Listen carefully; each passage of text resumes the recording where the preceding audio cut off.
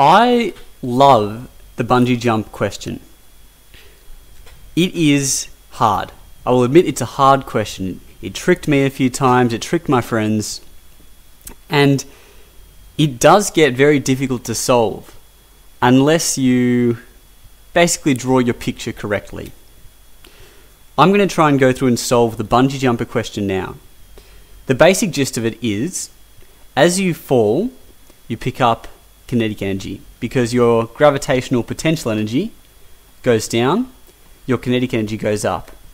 But then as you fall to a, to a certain point, the bungee rope starts to stretch. So it's stretching from this point to this point here.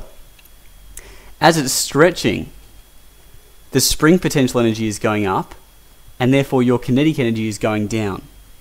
And the complicated thing is, while the spring potential energy is going up and your kinetic, uh, kinetic energy is going down, your gravitational potential energy is also going down. So we've got three different forms of energy being exchanged all at once. So, for the purposes of this question, the first picture shows the person about to jump.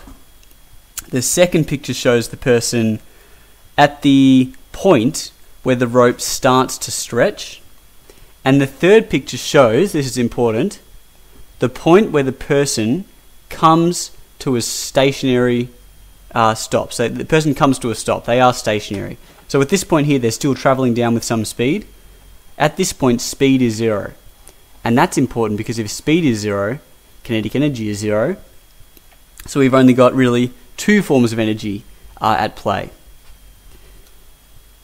To set up this question, I'm going to put in a few numbers. First of all, this person is two meters tall, and their center of gravity is halfway between their head and their feet. So their center of gravity is one meter high if they're standing up.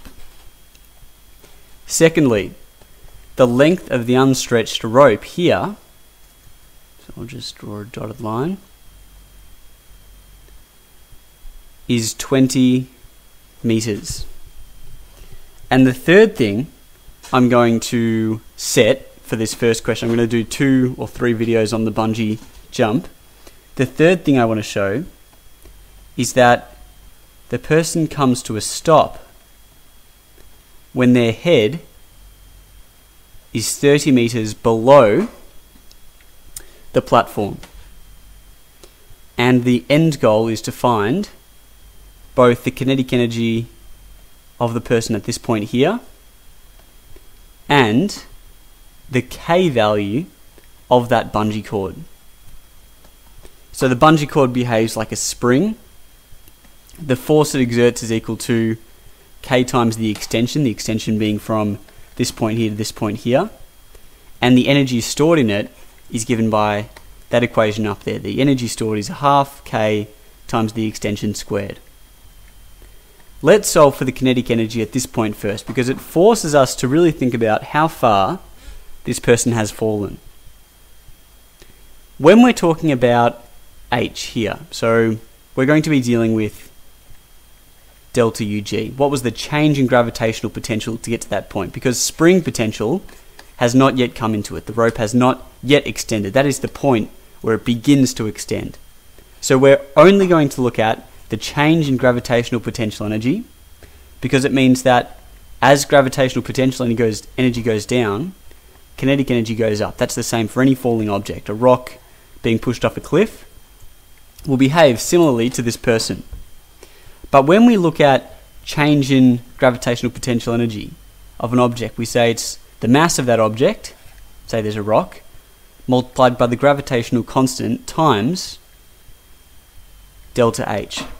Now, if the rock is pushed off a cliff like that and it hits the ground down here, we can basically say that was the change in height there. But what we're really saying is that the change in height of the center of gravity was equal to that distance there. Can you see those two arrows are the same length, even though I'm drawing them from different points? Since the rock uh, doesn't tip over anything as it falls down. If we take the bottom of the rock here and the bottom of the rock here, and we calculate the distance between them, That's the same as the center of the rock here and the center of the rock here. Try to understand that. Now, at the point where the person is falling and we want to calculate the kinetic energy, we need to know how far the center of mass of this person has fallen. If the rope here is length 20 meters, or the cord, the rope and cord, I use that word interchangeably.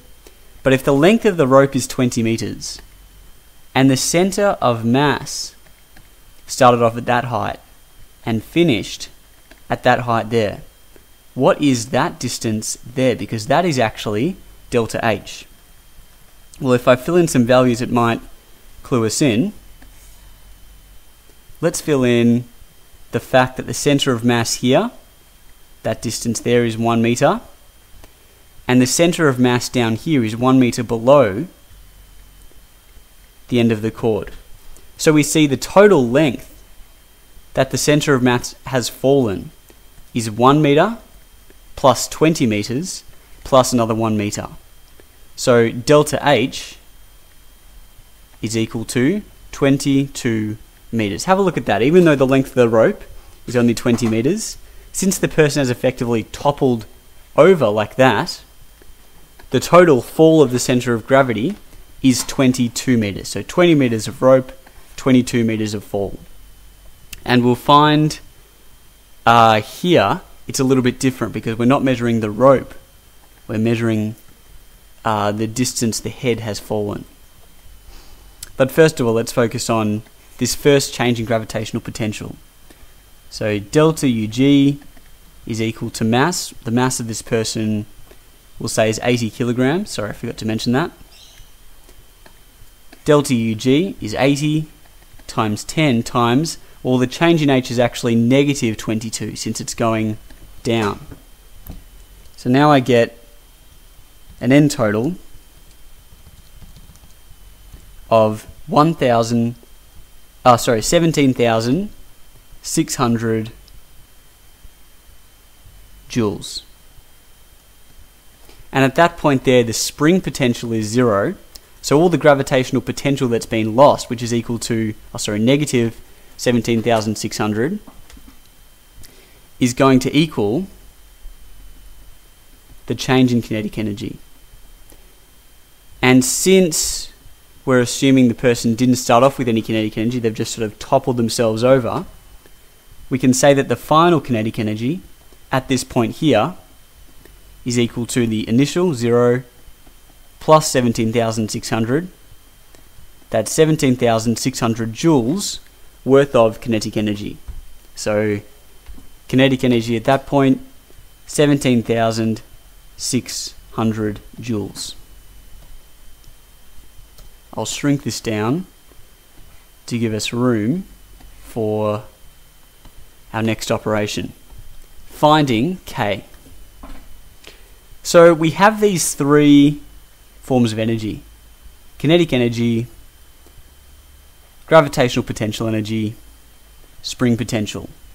In the first part of the fall, there, the gravitational potential energy becomes kinetic energy. As the spring, as the cord, as the rope or bungee cord starts to stretch, gravitational energy, gravitational potential energy becomes spring potential, and since this person is obviously slowing down, kinetic energy also becomes spring potential. Like that. So as they're dropping, that's the case. And then as they reach the very bottom of their drop, we end up with a completely depleted kinetic energy. So that's zero. And all of the gravitational potential energy has become spring potential energies. This, this is the key part to this question. When the bungee jumper reaches the bottom of their jump, all the gravitational potential energy that they've lost on the way down, given by that change in height there, has gone to spring potential. So let's figure out exactly how much gravitational potential energy they have lost. Delta UG is equal to mg delta H. How far has this person fallen? Now it's 30 meters from the platform to their head. That means the there is also 30 meters from their old center of gravity to their new center of gravity. You can see that this line here and this line here are actually the same length. and this end is one meter higher than this end, that's a one meter gap there. And this end up here is also one meter higher than this end there. So delta H is in fact equal to 30 meters. Therefore, the total change in gravitational potential energy is 80 times 10 times 30, which comes to 24,000 joules. That must be if we if we are claiming that all the gravitational energy has turned into spring potential, that must be also equal to the spring potential in the bungee at that point there. The bungee has the cord has absorbed all the gravitational potential energy that's been lost. US or gravita- or, or uh, spring potential energy is equal to a half k x squared. So we have a great equation, 24,000 joules is equal to a half kx squared. We want to find k, but since there are two unknowns in this equation, it's not possible right now. What we need to know is how far that, that cord has stretched. What is x? Since x is equal to the extension. So this is, as I said in the beginning, one of the important parts of this question where you need to have drawn a great picture. If you've been given the, these three pictures here, we at least need, need to label it properly. What is the difference in height between the bungee cord there and the bungee cord here? Well, we know this bungee cord here is equal to 20 meters in length, and we know this length here from platform to head is 30 meters. That must mean if the person is still 2 meters tall down here, they don't change height, the length of this bungee cord here is 30 minus 2 or 28 meters. So the bungee god's cord has gone from 20 to 28 meters. That's an extension of 8 meters, dealing with meters in this equation here. So now we have 24,000 joules worth of energy must be contained in a spring that's extended 8 meters. To get k by itself from here, we say 24,000. We can multiply that by 2 to get rid of the half there. And divide it by 8 squared, that's divided by 64. And we find k is equal to times 2 750 newtons per meter. Newtons per meter being the units for K. That's the question solved. The number one mistake that I see people making with this question is that they calculate the kinetic energy of the person at this point here. And they say, oh, okay, they, might, they have 17,600 joules worth of kinetic energy, and the spring takes that away. So they write this the spring potential must equal 17,600, so a half kx squared is equal to 17,600. They ignore the fact that gravity is still acting on the bungee jumper between this moment here and this moment here.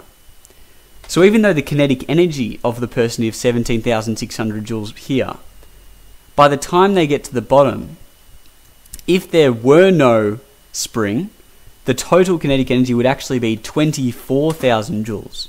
And that is what is being impeded by the spring. So don't forget to add the last little bit of gravitational potential energy caused by that drop there. That's enough for this video. In the second video, I'm going to try uh, to up the challenge of this question even more.